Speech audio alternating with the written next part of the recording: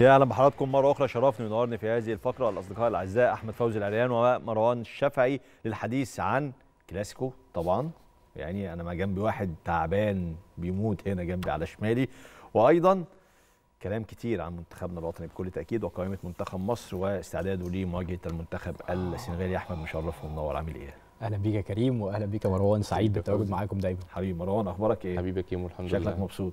أنا مبسوط عشان معاكم وأول مرة أقابل فوزي يعني صديق عزيز عليا فأنا مبسوط إن أنا معاكم. والله. وبعدني بقى والنبي يا كريم. خلاص يعني. هو؟ بيشجع ريال مدريد من طبعاً كل. قلبه. طبعاً. طبعا. شفته وهو بيتفرج على الماتش يا عيني. متأثر جدا. رغم إن أنا كنت عمال بقى إيه أستفزه وإحنا بنتفرج يعني على بيشجع الماتش. مدريد أنا كمان عارف برضه أوي. يعني. أنا أنا أنا راجل مشجع مدريدي قديم. هو المفروض مشجع مدريدي قديم برضه زيي. أنا بعرف الماتش من أول خمس دقائق رشتها ريال مدريد لو خمس دقائق الأولى دي وحش خلاص أنت بتشيل بقى كتير. فأنت مم. كنت عارف. ضيع عيني بقى كان متحمس. أول ما بالفيردي ضيع كورة الحمد لله. قال لك الثانية جاية الثانية جاية. الثانية جت فينا إحنا الحمد لله الماتش. الجاي يعني إيه اللي حصل بقى؟ طيب أنا عايز أقول جملة كده قبل آه. ما نقول الكلام الفني بس الجملة ينفع تتذاع طبعا أي حاجة آه،. ماشي. أنت عارف أنا بحب كريم عمري بقول لك يا أحمد أول ما قال لي هقول جملة بقى قلت عارف فاكر فاكر كانوا بس كانوا بالظبط هقول جملة لا أنا أنا شايف إن آه. كمشجع كورة آه لو أنت مش هتتقبل خسارة زي خسارة النهارده. كريال مدريد أو كأي فريق يبقى ما تستاهلش إن أنت تعيش ليلة زي ليلة مثلا الفوز على باريس. صح. لأن هي الكوره كده يا جماعة صح. فاهم مفيش فريق ما بيجيلوش off day. فنيا بقى هو في off day ده أنا مقتنع بيها في الكورة. بعيدا عن إمكانيات شافي وإمكانيات اللعب اللي عنده والفكر اللي طبقه كان عالي طبعا. قبله استراتيجية خاطئة ودخول الماتش خاطئ. من الآخر الراجل. أنشيلوتي بالظبط أنشيلوتي قرر ان أنا غايب عني بنزيما فعندي حل من الاثنين يا إما فالفيردي إن إحنا كنا قبلها مبسوطين بيه أو صح. متفائلين بيه يا إما ماريانو ماريانو ما بيقدمش الأدوار الخروج بالكورة أو بال build up يعني زي بنزيما فهعتمد على فالفيردي وهضغط بكروس ومودريتش. وهطلع بالكورة على كاسيميرو وميليتاو فالتركيبة كانت غلط صح رايح اضغط باثنين ما عندهمش القدرات بد- البدنية يروحوا full power يضغطوا يجيبوا الكرة عالي. كروس ومودريتش. كروس ومودريتش. ولا عندي اثنين يقدروا يطلعوا بالكرة فوزي من تحت كويس اللي هو أصلا كاسيميرو ما بيعرفش. أول كرة بتيجي في رجله بتحس فيه قنبلة في رجله وميليتاو مش أفضل واحد للخروج بالكوره فأنت عزلت الفريق عن بعضه عزلت ال- ال- ال link up اللي بي- بيقدر يوصل الخطوط عن بعضه. فتحت المساحات لل half spaces اللي هو أصلا الراجل عايزها. دخل فيها بيدري دخل فيها ديونج. بقى بيأدي واحد على واحد واثنين على واحد. جه الشوط الثاني قرر العب بثلاثه ورا. في أول 40 ثانية فيران توريس كان في انفراد. لأن الدنيا هتفتح منه أكتر. راح مرجع كاسيميرو centre back تاني ولعب ديفيد ألابا back شمال. فالدنيا فرطت. مم. فهو off day مدرب off day 11 لعيب في الملعب. أنا بشوف إن لسه كنت بتكلم مع فوزي بره. زي ما باريس سان جيرمان خسرت من برشلونة 6-1 في ريمونتادا واحدة من الأشهر في تاريخ الكورة. برشلونة جت خسرت بعدها 3-0 في الكامب نو من يوفنتوس. اللي حصل مع ريال مدريد. وصل لل peak بعدين نزل. وهي دي الكورة في وجهة نظري. اشمعنى ده بيحصل معانا؟ إحنا؟ اشمعنى بيحصل مع الريال؟ بص هو لسه حتى أنا كنت كاتب كده من شوية إن على مدار السنين الأخيرة يعني آه، أحيانا كتير بيخش برشلونة ماتش بيكون. هو ال off day زي ما مروان بيقول بس, بس ريال مدريد ما بيستغلش الموقف ده. صح. ولاد اصول وفي المقابل لما ريال مدريد بيبقى في ال off day بتاعه لا برشلونة بيدوس بيدوس جامد قوي. مرة ستة مرة خمسة مع إن كتير جدا في وضعيات الماتش بيبقى برشلونة هو اللي يستحق إن هو يخسر النتائج دي. صح. ده على فكرة استمرار حتى الكلام اللي أنت كنت بتقوله من شوية كمشجع ريال مدريد قديم إنك بتشوف أو بتعرف آه، مصير المباراة بالنسبة لريال مدريد من أول خمس دقائق لو داخل بقوة هتبقى تعرف أو هيبقى ليك فرصة مش ضامن المكسب. صح. إنما لو مش داخل بقوة خلصانة. يبقى أكيد مش هتعرف ترجع. آه خلاص أعتقد دي تراكمات للتحولات اللي حصلت في شخصية الفريقين قصاد بعض في الكلاسيكو بس لأن شخصية ريال مدريد طبقة قوية. طبعا هي الأقوى في أوروبا مش الأقوى بس في ما بين برشلونة وريال مدريد. صح. ولكن في الماتش ده دايما بتكون في أفضلية نفسية لبرشلونة مهما كانت حالة الفريقين قبل المباراة في السنوات الأخيرة فقط مش تاريخيا عشان طبعا ريال مدريد. هو الأفضل هي هي السنوات الأخيرة دي للأسف في حوالي 15 سنة بالظبط آه. يعني برضه يعني يعني ساعات ما وعينا 2006 آه يعني فاهم من 15 يعني كتير يعني فاهم بس في النهاية برضو آخر يعني آخر ست ماتشات ريال مدريد كسب خمسة. وتعادل س... تعادل واحد يعني مم. فهو ال... بس هو زي ما فوزي بيقول لما برشلونة بيكسب بيكسب ب score. عنده القدرة إن هو يكسب ب score في فتراته العاديه في الست ماتشات الأخيرة ريال مدريد كسب أعلى حاجة كانت فرق جولين. لكن برشلونة لما بيدخل بيدخل في ال streak دي وبيقدر إن هو يحط نفسيا عبء عليك بيكسب فرق ثلاثة. وممكن. أربعة ومرة خمسة. فهي قدرات نفسية وريال مدريد- محمد الجزار كان في المباراة في في الكامب نو في sorry في سانتياغو برنابيو. فقال لي إنه كان بيتكلم مع صحفيين هناك فقالوا له إنه أنشيلوتي ممكن يمشي بعد المباراة ديت. فقلت له طبعا ده كلام مش منطقي وأقرب للمستحيل يعني فرقة صاعدة قدام باريس سان جيرمان بأداء رائع هتلعب مع تشيلسي متصدر الليجا غالبا هياخد الليجا. فما فيش سبب يخليه يمشي يعني غير خسارة البرشلونة وده مش منطقي. هو ردود الفعل بعد الخسارة هادية شوية مم. على غير المتوقع وده مطمني. عادة ردود الفعل بتبقى أكبر من كده بس عشان الماتش جاي في نهاية الليجا فاضل تسع ماتشات تقريبا وأنت متأهل لدور الثمانية Champions League وفلورنتينو بيريز راجل ذكي هو عارف الفريق ده يقدر يوصل لإيه وعارف إن هو عنده قصور في إيه. وهو أصلا جاب أنشيلوتي علشان يشيل الليلة من الآخر يعني لو هو قدامكم أنشيلوتي ده اتكلموا معاه. أنا من الآخر إيه أنا مركز في الاستاد ومركز إن أنا أجيب إمبابي ومركز إن أنا أعمل سمعة لنفسي إن أنا عملت استاد جديد وجبت أهم صفقة في تاريخ ريال مدريد. كريستيانو رونالدو وهسيبكم وأنا جايب أهم صفقة في تاريخ ريال مدريد الحديث اللي هو كيليان إمبابي. فكسبت دوري وكسبت كأس سوبر أسباني دي حاجة ممتازة بالنسبة له يعني. لكن هو عارف إن أنشيلوتي ما يشيلش ما يشيلش الليلة لوحده. وأنا بشيد بأنشيلوتي في المؤتمر الصحفي لأن هو طلع قال ده خطأي أنا اللي أتحمل ال- الخسارة كاملة. فهو بيحافظ على لعيبته في تصريح يعني أنا بحيي فيه أنشيلوتي بصراحة. لكن فكرة إن هو يقيل عشان خسر 4-0 من برشلونة أعتقد إن هي بعيدة. كل البعد يعني. هو في حاجة كمان على فكرة هو أصلا أنشيلوتي يعني لو في مدرب واحد بس هيقدر إن هو يتعامل مع قائمة ريال مدريد الحالية بنواقصها الكتير دي فهو كارلو أنشيلوتي. صح هو المدرب الأكثر. جدارة في إن هو يعمل آه. كده. الراجل اللي بيسمع الكلام اللي واللي. بيعرف كمان مش بس بيسمع الكلام اللي بيعرف يدبر نفسه يمشي نفسه بأقل حاجة موجودة متاحه مش بس إن هو بيسمع الكلام في اللي هو مش هيجيب ال- اعلى حاجة لكن لأ في مدربين تانيين لو ما توفر لهمش القايمة القوية هيعطل أصلا مش هيعرف يعمل حاجة. أيوة. إنما هو بالقايمة دي ان هو يوصل دور الثمانيه ويتصدر الدوري مع وضع في مع الوضع في الاعتبار طبعا إن أتلتيكو وبرشلونة هم اللي ساعدوا في. تصدر ريال مدريد. للدوري لأنهم ضايعين بداية الموسم. لكن هو كارلو أنشيلوتي الانسب يعني. تشافي بقى تشافي حكاية. برشلونة في مرحلة سيئة جدا مرحلة قلنا إنها هتقعد فترة طويلة بعد ما بعد ميسي. قدر يلم الفرقة بسرعة قدر يخلي برشلونة شكل حلو. يرجع تاني برشلونة اللي شكله حلو. مش النهارده بس إحنا بنتكلم في عدد كبير من المباريات السابقة. بتقول إن برشلونة رجع تاني برشلونة مع تشافي. إزاي بسرعة قدر يعمل ده؟ أعتقد إن تشافي عاد لأبجديات برشلونة. واضح إن- يعني برشلونة فعلا نادي تحديدا ليه خصوصيات بعيدا عن باقي انديه أوروبا. لما كلمة إن هو لما بيقول لك إحنا نجيب ابن النادي ده لو دي لو معمولة فمعمولة علشان برشلونة لأنها فلسفة مختلفة عن بقية الأندية. أي أي مدرب قد يكون عظيما خارج برشلونة ولكن لا ينجح في برشلونة والعكس مدرب يكون محدود ولكن ينجح باقتدار مع برشلونة ويفشل خارجه لأن ليهم طبيعة خاصة. ده اللي حصل كانت البداية الخطوة الأولى في استخدام تشافي اللي هو متمرس ومعروف إن هو كان بيعد للمستقبل إن هو يمسك برشلونة منذ كان لاعبا. دي النقطة. النقطة الثانية أعتقد إن هو قدر يجيب الصفقات مش اللي هي تبني للمستقبل ولكن تعيشه حاليا مم. لأن معظم الصفقات اللي برشلونة جابها هي مسكنات مش مم. فريق يعني مثلا لما نتكلم عن أوباميانج مش لاعب تبني عليه مشروعك مم. لما نتكلم عن داني ألفيش لا مش لاعب تبني عليه مشروعك تراوري برضه و- و- وادامه تراوري طبعا هو الصفقة اللي ممكن تكمل معاك هي وفيران توريس.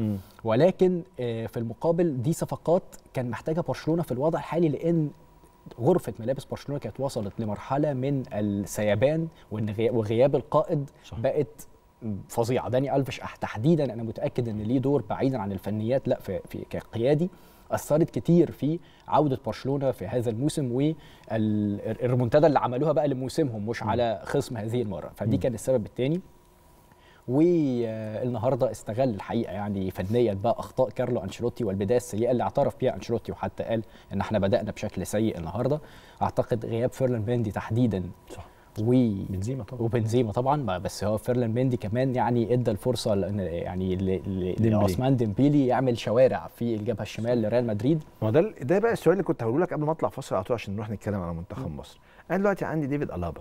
طب وناتشو أصلا center back. طب ما أحط ديفيد ألابا left back. وألعب ناتشو center back وخلصت الحكاية يعني الدنيا هتظبط شوية. أنا أنا متفاهم من وجهة نظر دي بس آه.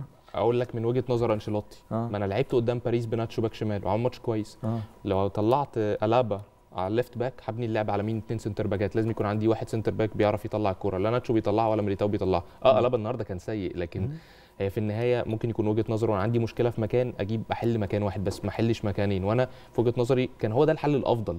لكن فكرة إن أنا أبيع ناتشو على ديمبيلي بالشكل ده هي دي المشكلة عكس بقى الناحية الثانية المنظومة حمت أراوخو من فينيسيوس جونيور فينيسيوس جونيور لما راح واحد على واحد قدر في أول الماتش الكرة اللي أنت كنت بتقول عليها قدر إن هو يعدي منه ويعملها لفالفيردي لبره لكن بعد كده المنظومة حمت أراوخو ما حطتش فينيسيوس جونيور مع أراوخو في موقف. واحد على واحد لكن صح. المنظومة بقى مع يعني ريال ناتشو مدريد كان ناتشو كان باعت بيتعذب ديمبيلي. لوحده آه لوحده. تماما آه. وهو على فكرة هو المشكلة مش في ناتشو هو المشكلة إن ديمبيلي تقيل قوي ديمبيلي مش عايز أقول زي كيليان إمبابي بس هو عنده سرعات كيليان إمبابي. فأنت لو حطيته في موقف واحد على واحد على واحد أصلا بديل لاعب آه، روتيشنال مش لعيب أساسي ما بيلعبش في مركزه ما تستناش منه حاجة يعني. مم. فهو ما كانتش مشكلة ناتشو قد ما هي مشكلة المنظومة.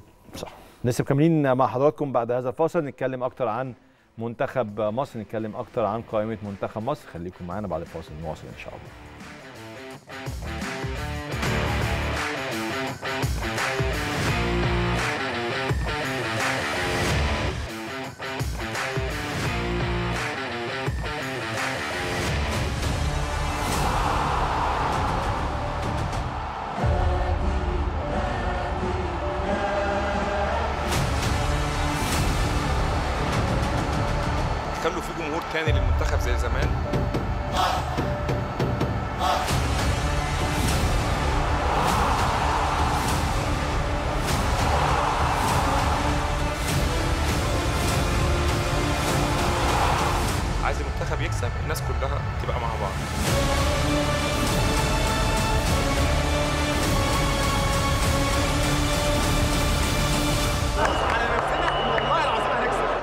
كلكم معايا. قولوا يا رب.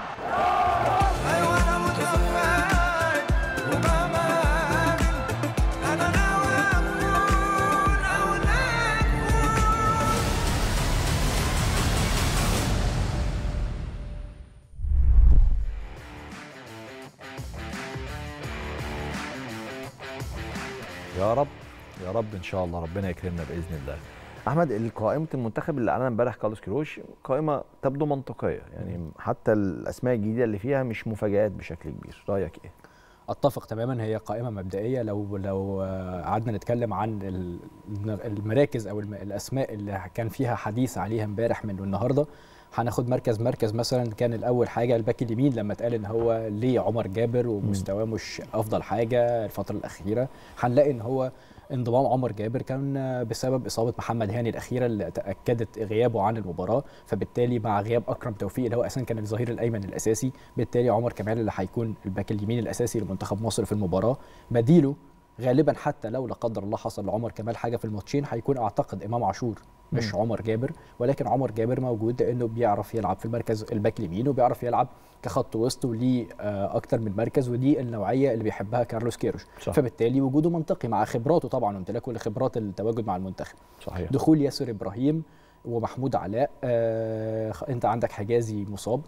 عندك محمود علاء مستواه متراجع فعلا الفترة الأخيرة ولكن خلاص أنت لازم تاخد عدد معين من قلوب الدفاع. لو ما كانش موجود ياسر إبراهيم أو محمود علاء كانت مين الأسماء اللي هتكون موجودة؟ علي مم. جبر مثلا أو أحمد سامي من بيراميدز. مش هتفرق كتير في الكواليتي ما بين الأسماء اللي موجودة والأسماء اللي خرجت. فبالتالي منطقيا. لما تخش على نص الملعب الاختلاف اللي حصل إيه؟ دونجا دخل مكان مهند لاشين اولا مهند لاشين مستوى متراجع من بعد البطولة ثانيا هو خرج مصاب آخر. ماتش فبالتالي. أنت مش بطولة أنت مش بتختار لبطولة فممكن تاخد لاعب تجهزه أنت واخد لاعب علشان يلعب ماتشين يا يبقى جاهز 100% يا إما لأ وبصراحة دونجا عامل مباريات محترمة مع بيراميدز ودونجا. عامل مباراه محترمة. عودة قفشة مرهونه برضو بإن بسبب قصدي إن عبد الله السعيد اعتزل فأنت لازم يكون عندك صانع ألعاب. وأخيرا الهجوم إن هو مش موجود محمد شريف مثلا فخلاص إحنا أثبتنا 100% وتأكدنا إن محمد شريف مش مناسب لطريقة كارلوس كيروش وهو بيحب الأساسي عنده هو مصطفى محمد. سواء سجل أو ما سجلش هو الأنسب لطريقته. صح. سواء بيسجل أو لأ. والبديل بتاعه هو مروان حمدي. عدم وجود إبراهيم عادل وأحمد عبد القادر اللي أنا كنت أتمنى وجودهم بشكل شخصي ولكن في الآخر سواء تواجدوا أو لا فأنت عارف إن الأساسيين بتوعك هم محمد صلاح هم تريزيجيه أو مرموش ايا كان منهما وزيزو هو البديل الأول. صح. بتاعك فلو كان وجود منهم واحد أنا كنت هكون سعيد لأنه كان هيبقى حل كويس ولكن عدم وجوده أيضا بالنسبة لي مش كارثة تستحق المناقشة بشكل قوي يعني. هايل طيب مروان على ضوء هذه القائمة وطريقة لعب كارلوس كيروش المعتادة 4 3 3 4 3 3 الشكل بتاعها يبقى إيه في مباراة القاهرة تحديدا؟ تلعب بالثلاثه المعروفين النني عمرو السولية حمدي فتحي ولا تشيل واحد منهم وتدخل مثلا لاعب زي زيزو لاعب زي تريزيجيه مع تألق؟ تريزيجيه الفترة الأخيرة مع عمر مرموش جناح. تتعامل إزاي مع مباراة الذهاب؟ طيب إحنا خلينا نتفق إحنا عايزين إيه من مباراة الذهاب؟ إحنا. عايزين شباك نظيفة ده رقم واحد دي أهم حاجة بالنسبة لي أهم حتى من تسجيلي للاهداف بس في نفس الوقت أنا عايز كل أقلل الضغط عليا. فعشان أقلل الضغط عليا أنا عارف إن كارلوس كراش أنا بتكلم بقى بفكر كارلوس كراش فكر كارلوس كراش إن أنا بستحوذ على الكورة. في تلت ملعبي أنا أو بقطع الكورة في التلت الملعب الخاص بيا أنا. فحمدي فتحي عمرو السولية محمد النني الثلاثه متشابهين لأبعد الحدود. مع وجود اثنين full backs عمر كمال عبد الواحد.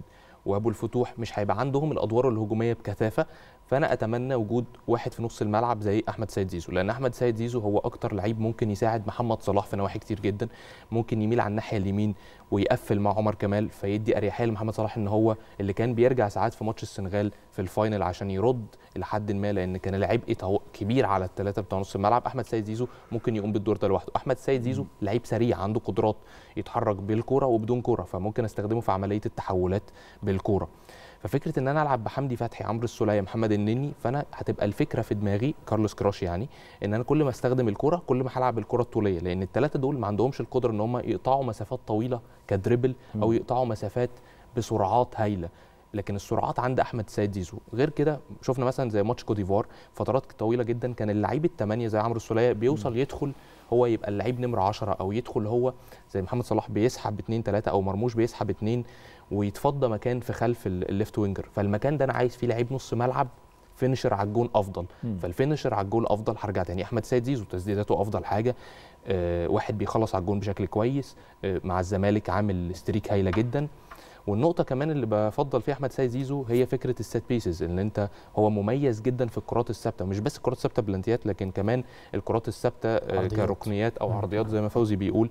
فده سلاح مهم جدا لأن إحنا سجلنا هدفين في بطولة أفريقيا من كرات ثابتة كان واحدة عاملها مرموش وواحدة عاملها عبد الله السعيد. فلازم أستخدم السلاح ده وأستخدم تريزيجيه ك left winger أساسي. فوجود تريزيجيه ك left winger أساسي مع وجود أحمد سيد زيزو كواحد في نص الملعب مع عمرو و- والنني أو عمرو السولية وحمدي فتحي أعتقد هيبقى شكلنا الهجومي في التحولات أفضل بكتير. طيب فنيا يا أحمد بحس إنه كارلوس كيروش بيحب اللعيب اللي بيلعب في نص الملعب الثلاثه يكونوا بيعرفوا يلعبوا ست عشان هو بيعمل دايما ال rotation بينهم في وسط المباراة. يعني النني لو دخل على اليمين رقم 8 يرجع تاني 6 عمرو السوليه يبقى 6 حمدي فتحي يبقى 6 هو ده اللي يمكن بحس احيان كتيرة بيضعف فرص مثلا قفشه يضعف فرص عبد الله السعيد مش عشان هم ما بيعرفوش يلعبوا 8 عشان هم ممكن ما يعرفوش يلعبوا 6 لو حب يعمل rotation نفس الأمر لزيزو. هل هو ده تفكير كارلوس كروش اللي هيمشي بيه في مباراة السنغال ولا هيلعب زي ما قلت لك بعنصر هجومي أكتر في نص الملعب. وأنا بتكلم عن نص الملعب دايما عشان الباقي المراكز تقريبا معروفه محسوبين. ومفهومه ومفهوم كل حاجة. ودول محور أدائنا دفاعيا أو هجوميا الثلاثه اللي في النص.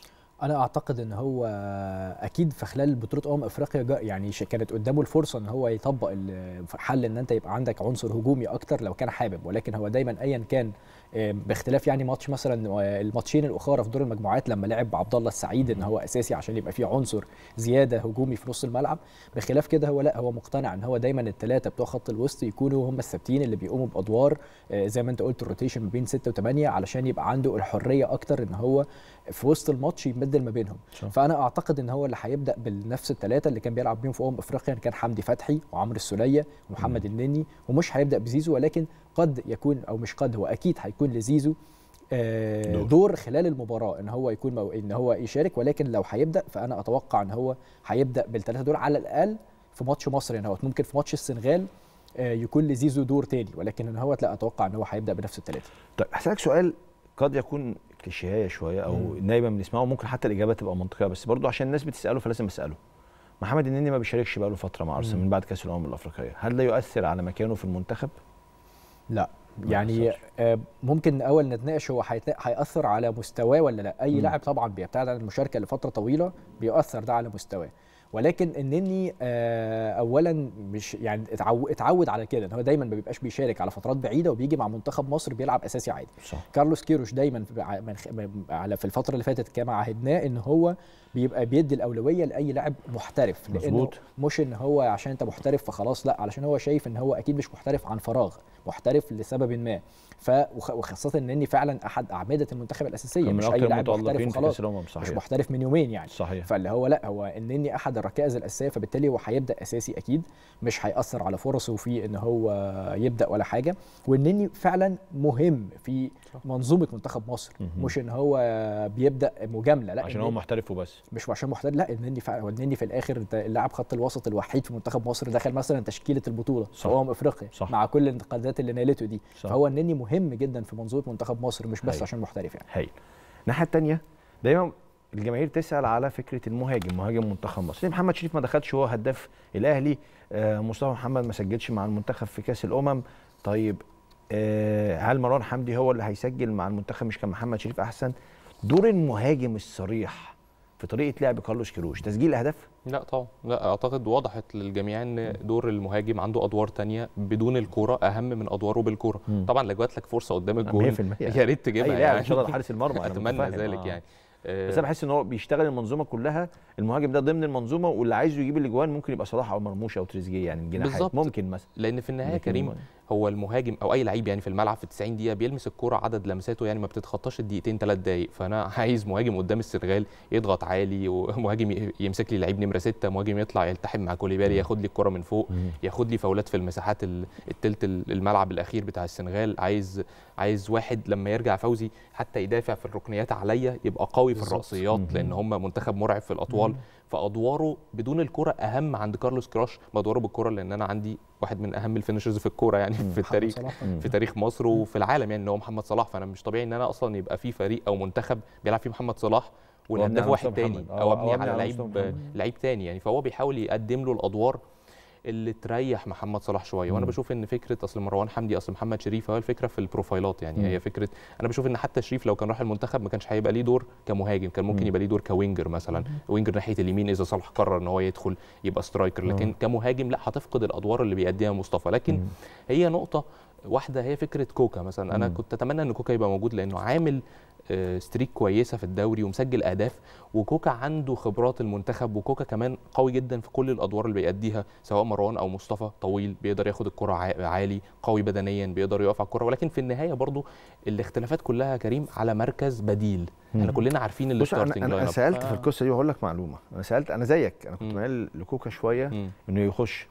يتقال لي ده نصا. إنه الراجل. كان شايف كوكا كويس فعلا. أوكي. بس هو شايف إن الفترة ضيقة جدا. إن هو يدخل واحد هو جديد. اتقال لي كده مصطفى محمد ومروان حمدي خدوا وقت كبير جدا عشان يحفظوا الأدوار اللي كارلوس كيروش طالبها منهم. فهو قلق إنه ياخد كوكا إنه يبقى عنده بطء في حفظ الأدوار ديت فما يقدرش يستفيد منه. بس هو مقتنع بالراجل اللي ممكن يبقى ليه دور بعد كده مع الفريق في وجهة. نظر محترمة لأنه فعلا هو اشتغل مع مروان حمدي كأس عرب كاملة صحيح. وكأس أفريقيا كاملة. وعلى فكرة يعني يعني بعيدا عن الكلام الناس هو مروان حمدي لما نزل في ماتش السنغال الراجل كان ليه محاولتين المرمى اللي رحنا بيهم كانت من مروان. ما كانش موفق في الكرة العرضية اللي جت بالراس لكن يعني قدر الله ما شاء فعل يمكن يوفق فيها في ماتش السنغال الله أعلم. لكن هي رؤية رؤية الراجل واضحة. أنا عايز لعيب مش مهم هو بيسجل قد مهم إن هو بدون الكرة بيعمل الأدوار مروان دي. حمدي كان موفق في هذه الكورة مثلا كانت مصر كلها حطت مروان حمدي وبعد عملت كده قدر دلوقتي. آه طبعا. كان مروان حمدي اتحط في القائمة وحط بعد كده أسماء. سبحان طبعاً، الله. طبعاً. يعني سبحان الله. أتمنى يوفق عشان اسمي بقى. عشان عشان مروان. طيب أحمد. مباراة الذهاب. اتكلمت في حتة بعيد عن الكورة شوية وحابب إن أنتوا تشاركوني فيها حتى لو مش هنتكلم شوية كورة. حتة الجمهور. إن الجمهور بطبيعة الحال بيروح ماتشات منتخب ممكن يبقى مختلف شوية عن جمهور الأهلي صح، والزمالك. اللي هو ممكن يبقى رايح يتفرج يمسك العلم ويقعد المطلوب إيه من الجمهور في مباراه زي ديت؟ شوف أنا اخر ماتش حضرته لمنتخب مصر كان مصر وغانا 2 اللي كان في تصفيات كأس العالم اللي. فاتت. محمد صلاح وعبد الله السعيد. محمد صلاح وعبد الله السعيد. فالماتش ده كان لما بقوم أشجع الناس يا عم اقعد يا أخي نتفرج فأنا نفسي كنت قاعد درجة المفروض تالتة شمال طبعا يعني آه، اتفرج يعني لا ما ما اقعدش غير تالتة أنا، أيوه فاهم؟ بالظبط. فاللي هو أنا نفسي بعض المفاهيم تتغير عند منتخب مصر. مبدئيا منتخب مصر الوحيد في شمال أفريقيا اللي ملوش جمهور مم. ملوش رابطة بتشجع منتخب مصر بقى مم. قوية مش رابطة كده معمولة اداريا لا مم. رابطة حقيقية زي. الأولترس كده. في الجزائر في المغرب في المنتخبات شمال أفريقيا تلاقي.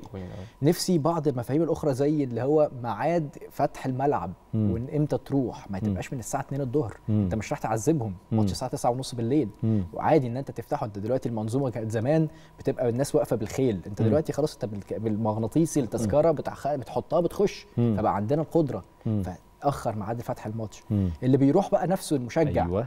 ما يبدأش يشجع من الساعة 3 صح. علشان يسلي. نفسه. صح. فاهم؟ ما انت يعني الماتش 90 دقيقة بتشجع قبلها. ماتش 9 ونص. آه. آه. الماتش ما انت بتشجع هتتعب ما انت زي لعيب الكورة. أيوة. طبعا. ما انت لو فضلت تلعب تلعب. شربت طول اليوم آه. وجاي بتشجع أربع ساعات هتيجي على وقت الماتش تنام. صح.